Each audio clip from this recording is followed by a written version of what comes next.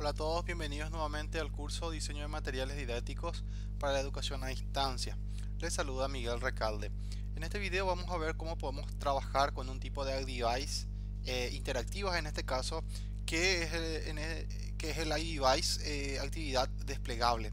Entonces, para ello vamos a seleccionar actividad desplegable y aquí en este caso nos va a, a abrir para completar este tipo de, actividad en el texto vamos a, trabajar sobre la misión en este caso.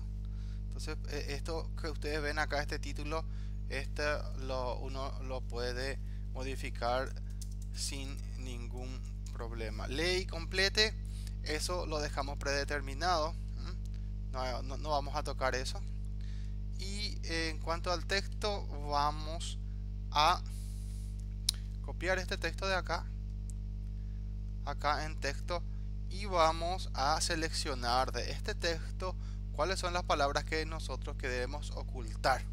Entonces la primera palabra que vamos a ocultar va a ser docencia le vamos a decir ocultar mostrar investigación vamos a darle ocultar mostrar palabra y la palabra extensión.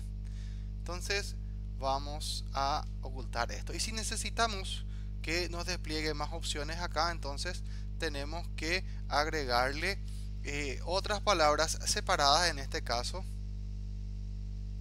con este símbolo que ustedes ven acá. Entonces uno va a ir agregando, en este caso va a poder ir agregando eh, este símbolo ahí está en el teclado. A veces es un poco complicado de encontrar en el teclado pero ese es el símbolo que se le agrega. Y en la retroalimentación entonces le podemos indicar por ejemplo gracias por contestar.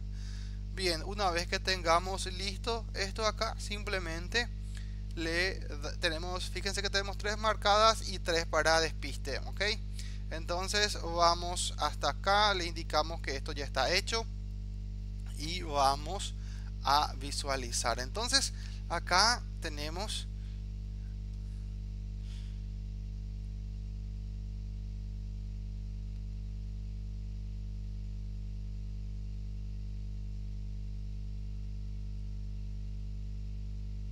fíjense que acá hay seis palabras ¿sí?